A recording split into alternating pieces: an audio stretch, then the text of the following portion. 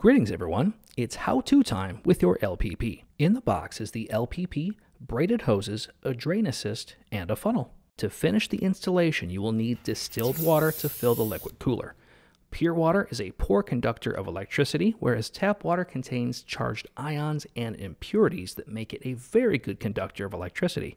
Tap water can also cause corrosion and premature failure to your hardware. We'll go over filling the LPP with liquid later in the video. Okay, let's begin. Gently remove the black hex caps on the LPP. All LPPs are tested before shipping, so there may be some water remnants. Connect the braided hoses to the LPP, hand tighten until you begin to feel resistance is all that's necessary. Tools should not and do not need to be used on the LPP ever. Next, open the rubber flap at the back of your laptop and connect the braided hoses with its metal proprietary connection. You'll get a nice click. The hoses should not be tangled or twisted. Next, connect the laptop's power supply to the back of the LPP and then the LPP into your laptop. Please do not turn on the liquid cooler just yet. We have to fill it first. Open the fill port on the top of the LPP. There will be two holes. The larger hole is for filling, the smaller is for ventilation. Use the included funnel and slowly begin filling with distilled water. Distilled water purchased in a large container should be transferred into something that can pour liquid into the funnel without spilling.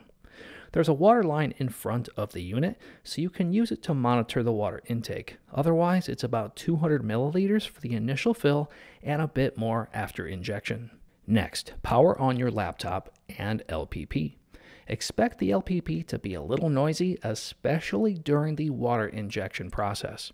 Open the Eluktronics Control Center software, click Performance, and then Liquid Propulsion Package.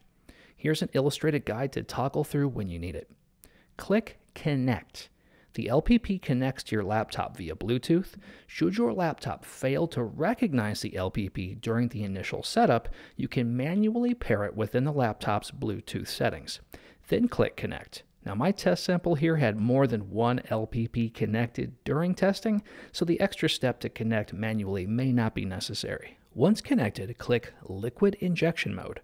During this process, the LPP is working to remove bubbles from the system. In my experience, one to three injections were necessary before achieving normal operating acoustics. It's also normal for the system to auto-inject when it reconnects after waking from sleep. Regardless, during the initial setup, expect your LPP to be a little noisier until the remaining air bubbles have been removed. During the injection process, the water level will need to be brought back up, so fill to the line on the window. I know this is obvious, but keep an eye for initial leaks tighten when necessary, and wipe up any spillage during the process. Don't stress, you'll get better at this during ownership. The LPP system is audible and has three fan settings. All three deliver great thermal performance, so use whichever one you like best. At this point, enjoy the thermal performance combined with acoustic bliss as the LPP provides something new to laptop life.